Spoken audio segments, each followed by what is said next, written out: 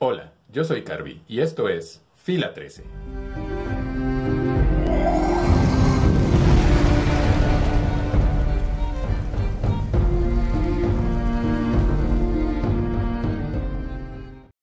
Hoy voy a dar mis impresiones de la última temporada de Juego de Tronos, y que en esta ocasión quizá podríamos llamarle el juego de las expectativas, porque ha generado una enorme polémica cuestionando su calidad, pero yo creo que tiene más que ver con las expectativas que los fans nos hemos venido creando a través de los años. Empecemos por recordar que Juego de Tronos se basa en una serie de novelas de un escritor que, antes de esta serie, no figuraba en el mundo de la fantasía literaria.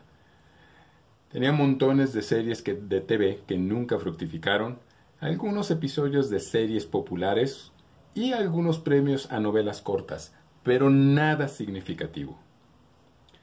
Y si las novelas se volvieron populares, no fue porque de pronto George R. R. Martin se convirtiera en Shakespeare, sino porque creó una fantasía ideal para adultos que crecieron en los 70s y en los 80s. Juego de Tronos es una telenovela, con todos los pros y contras de un melodramón.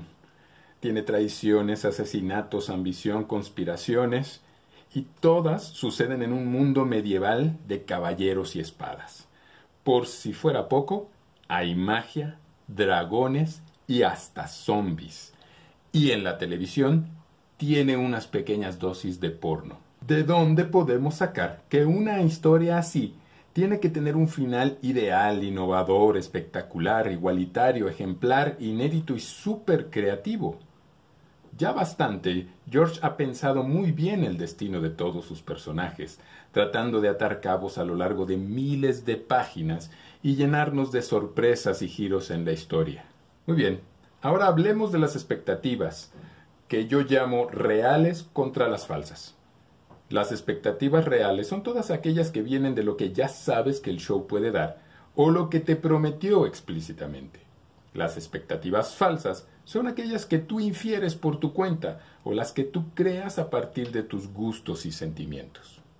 En esta última temporada de Juego de Tronos, una expectativa real es que se mantuviese el nivel de producción y de efectos especiales que tuvieron las anteriores, y en este caso no hay nada que reprochar. Incluso los efectos no hicieron más que mejorar. Otra expectativa real es que las actuaciones sigan siendo buenas, y en ese sentido, todos nuestros personajes se mantienen a su nivel. Una más es que la historia terminase coherentemente, y creo que lo hace, tal y como lo mencionábamos anteriormente, aunque podría haber sido mejor. Pero de eso andaré más en un momento. ¿Cuáles serían expectativas falsas? que tus personajes favoritos no se mueran, que los que odias o te caen mal no solo sí se mueran, sino que sufran, que el personaje X mate al personaje Y, que los buenos siempre sean buenos, que los malos siempre sean malos, que los inteligentes nunca se equivoquen y que las decisiones que tomen todos los personajes siempre sean lógicas y bien pensadas, nunca impulsivas, tal y como lo hacemos todas las personas en el mundo real. Que como el show tiene mujeres fuertes y personajes homosexuales, se erija como un ejemplo de inclusión y feminismo, y que como las otras temporadas tuvieron enormes batallas, esta debe tener batallas más grandes y más largas y más sangrientas y más todo. Recordemos que esta expectativa mató a las películas de acción de los 80s y los 90s, donde cada secuela debía ser más grande y espectacular que su sucesora, hasta llegar a niveles ridículos. Y como muy pocas de estas expectativas falsas mencionadas se cumplen al final, pues muchos de quienes las tenían terminaron frustrados. Pero ¿fue culpa en realidad de los productores y escritores? En algo que sí coincido con los críticos es que, en un afán de seguir sorprendiendo al espectador, y esta es una de las razones por las que terminamos amando Juego de Tronos, precisamente por esas sorpresas inesperadas, en ese afán de sorprender, son demasiados los destinos que se cambian. Y es que la historia está llena de profecías y leyendas por cumplirse. El rey de la noche, el cuervo de tres ojos, las profecías de los hechiceros del Señor de la Luz, la profecía de Cersei, el destino de los Targaryen y los destinos de cada personaje. Que algunos de ellos no se cumplan, se rompan o cambien, es sorpresivo y hasta agradable, pero que muy pocas lo hagan, frustra porque se rompen demasiadas esperanzas en el público.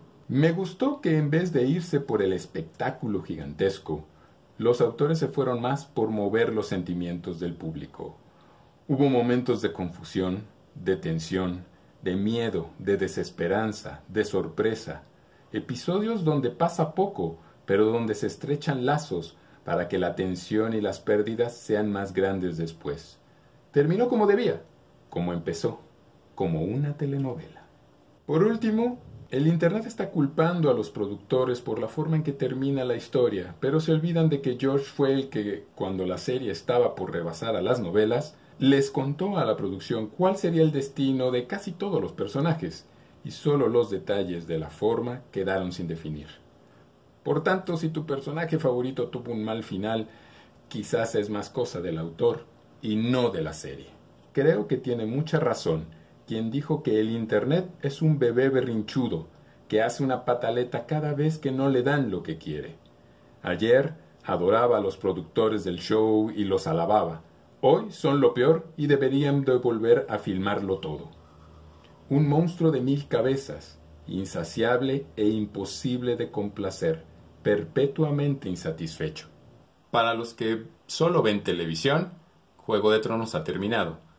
Pero para los que leemos las novelas, todavía nos quedan muchos misterios por resolver.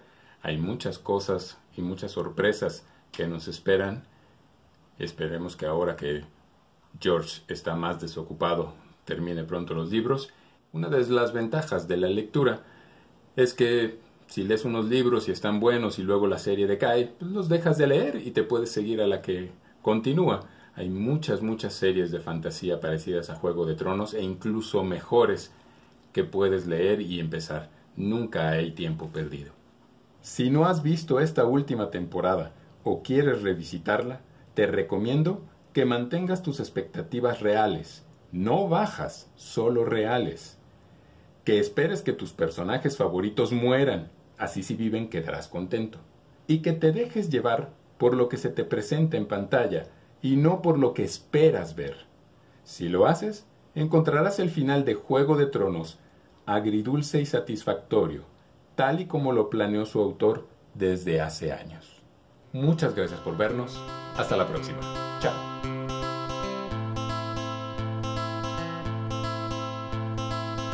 Es lo que hago, ver y saber cosas. Joffrey, Cersei, el perro, Tyrion. ¿Qué? Creo que no tenemos edad para este show.